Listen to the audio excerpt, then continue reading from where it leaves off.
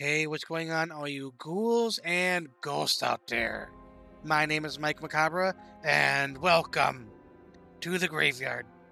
As always, if you like what you see, like, subscribe, comment, share the video, hit that notification bell so you don't miss any more of my reaction videos, Friday Night Frights, Mouthing Off with Mike Macabre, or whatever else I'm doing on this channel.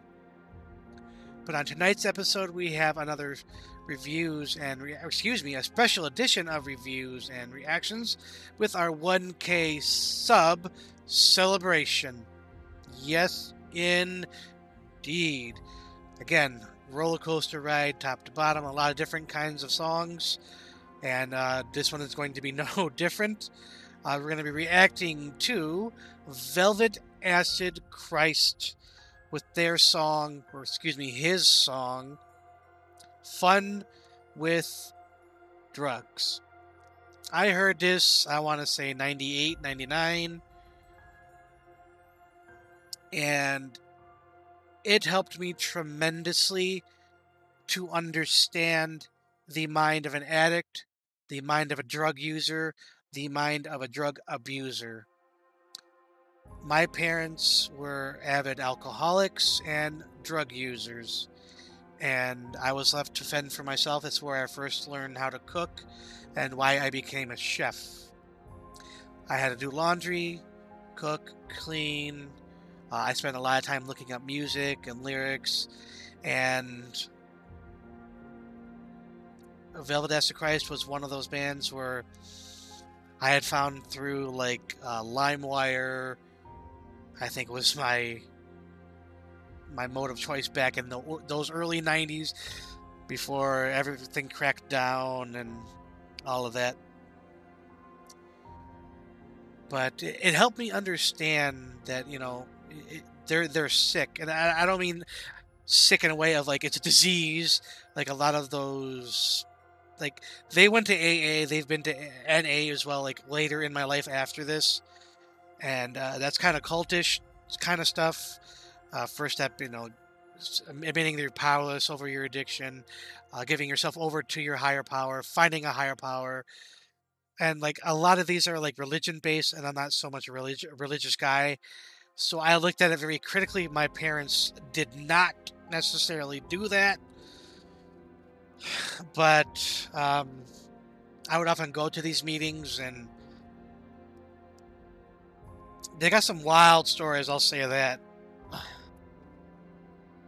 But this was my first kind of okay. Let's think about their their addiction critically. It got me thinking. Uh, you know, it, it inspired me um, musically, lyrically. So no more ghouling around. Let's check it out. All right, ghouls and goes. Velvet Acid Christ Fun with drugs. Oh, God. Did you eat all this acid? That's right. Music!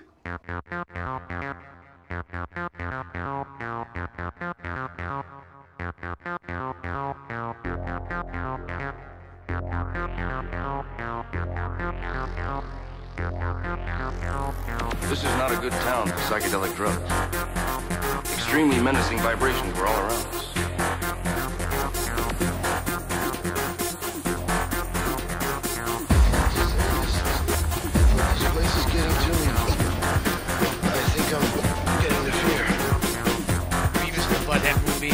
Obviously, Fear and Loathing in Las Vegas. We had two bags of grass, 75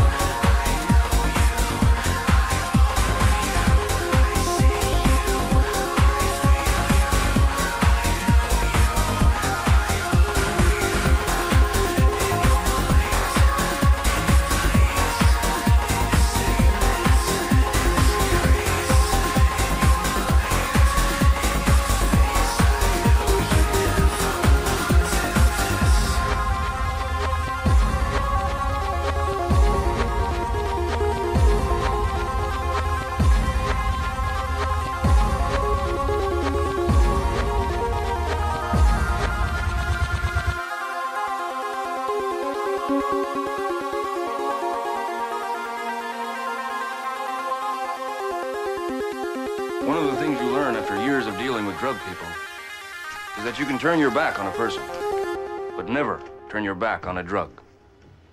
Especially when it's waving a razor sharp hunting knife in your eye. No truer words have ever been spoken by the one Hunter S. Thompson. Oh boy. I haven't listened to this song in ages. Man, I love that trippiness of it. I'll talk more about that in review section. See you there. All right, ghouls and ghosts. That was Velvet Acid Christ with his song Fun with Drugs. Link to that original video will be down in the description box for viewing pleasure at your leisure. So let's go right into these lyrics. Sick, distorted colors stab into your skin, the fluctuating light that comes from within. Acid on the tongue goes straight through your brain, falling on the floor as you wince in pain. Try to escape, but there's no, nowhere left to run to. I see you fall again on your face. Never mind this horrid disgrace. I see you, I feel you, I know you, I own you. I see you, I feel you, I know you, I own you. I see your skin falling off your face and fall onto the floor. Time drips away from the world, and the time that you spend is an underworld. I cannot see, but I know you're sick, and I do not mind that you tried to anticipate about the world inside and take some more and fry your mind. Sick, distorted colors stab into your skin. The fluctuating light that comes from within, acid on the tongue, goes straight through your brain, falling the, on the floor as you wince in pain. I see you, I feel you, I know you, I own you. In your mind, in your place, in your sickness, in disgrace, in your mind, in your face. I know you never wanted this. Again, absolutely powerful lyrics. And it comes from an, an odd choice of uh, narration, which would be from the drugs perspective. Usually, you're, when you're dealing with something like that, you're dealing with the person. But again, therein lies the genius of this of these particular lyrics. When you have that narration from the drugs standpoint, you realize that people under the influence of drugs are acting of drugs. They are the drug. It's not themselves that are doing that, it's the drug. Their influence under the drug. And I, you know, I was. When did this song come out? Let me quick find out here. Release date 1999. Okay. So in 1999, I think I heard it 99 or 2000. I'm not exactly sure, but around there. So let's just say 2000. I was 13 years old. To have that kind of perspective, where it was kind of like, whoa, it kind of opened up this whole new thing in my mind. And I was like, okay, I can understand this a little better. I understand my, my parents are sick. I'm not going to judge them. I'm going to try to help them. I'm going you know, and now I can't speak for my dad, but I can speak for my mother because we talked about it later in life a lot about her drug use and drug abuse, and uh, she went to NA because of me, and she was clean and sober for quite a while until she had surgery, and then she got addicted to painkillers which is a whole huge can of worms in and of itself. And now she's on Suboxone because, as she says to me, because you know I'm old enough to understand, either I can be out buying heroin or um, these prescription pain pills, or I can be on a controlled substance like Suboxone. And say what you will about her her having the need to have Suboxone and and all that. I'd rather have her here amongst the living. I mean, that's my own selfishness. I will admit, I, I want my mother here for obvious reasons. Um, I understand that she's sick and she needs help, and she's getting the help, albeit in a very roundabout way. Um, if it was up to me, she would be completely clean. But I understand if she's that much in pain and she's been, you know, on this stuff for as long as she has been, she needs to be weaned off of it, and you know that whole thing, and and detox, and, and it, it's just a it's a vicious cycle through and through. But man, it's just those lyrics for me powerful. And if I had to pick the one specific where it's the most meaningful for me is I see you, I feel you, I know you, but ultimately I own you. Without me, you're nothing. And that's the true power of these drugs. And then, of course, the ending in your mind, in your place, in your sickness, in disgrace, in your mind, in your face. I know you never wanted this, but it's at the same point, it's it just has that kind of grip and hold on people, and it's it's it's truly tragic. It really is. I, I've dealt with it, and I, you know, I'm not one for drugs like, like heroin or anything like that.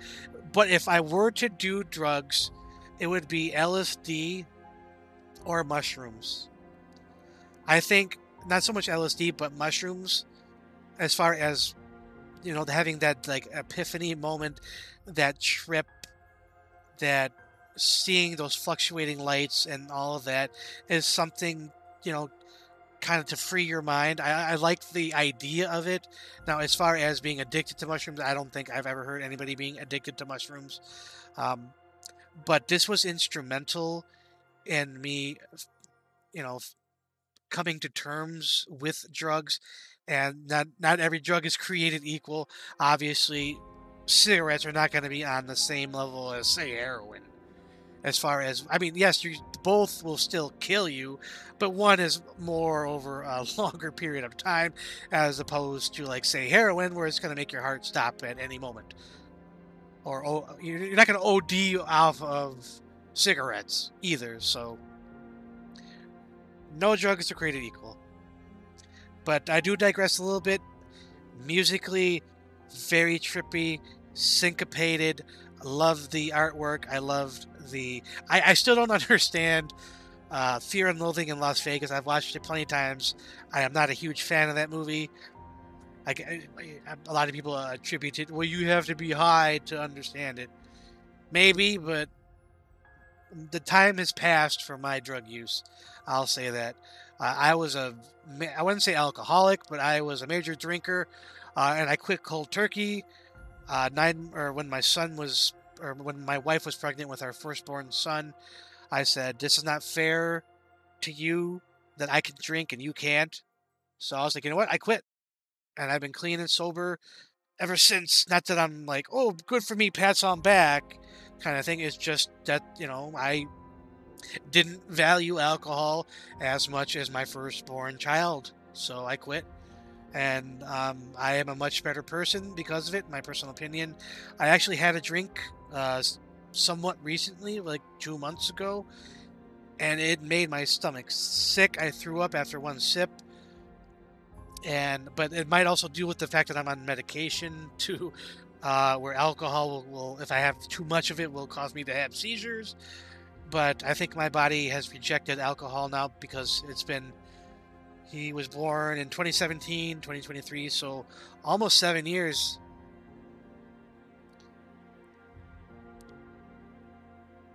Yeah, almost seven years, maybe just a little over seven. But yeah. Great stuff by Velvet Acid Christ. He's got some very, very dark stuff, to say the least. Really enjoy what he does. So, that being said, score. I am going to give this 4.5 skulls out of 5. Absolutely happy with that score for all the reasons I just stated. For me, most of what makes the song for me is just those powerful lyrics and it just it, you know just blowing my mind when I was a kid expanding my mind and shaping how I think and act today. It's nice to come back to those old tunes and wow, you know, that had a profound effect on on the way I perceive and handle my world and my reality. kind of glad I kind of, you know, I found that music in my young youth. But I do digress. I think that's going to be it for this episode of reviews and reactions excuse me, special episode of reviews and reactions with our 1K sub celebration. As always, if you like what you saw, like, subscribe, comment, share the video, hit that notification bell so you don't miss any more of my reaction videos, Friday Night Frights, Mouthing Off with Mike Macabre, or whatever else I'm doing on this channel. But as always, ghouls and ghosts, stay scared.